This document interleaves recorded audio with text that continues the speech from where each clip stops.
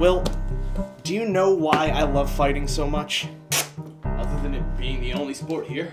I love fighting because it's the only sport where it is the ultimate competition between two people. If you win, you get all the glory.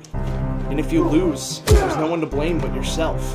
Why are you telling me all this? Because in life, just like in fighting, you can back up, and it may seem like a viable option, but at some point, you have to stand and fight, or you'll find yourself in a corner with no options.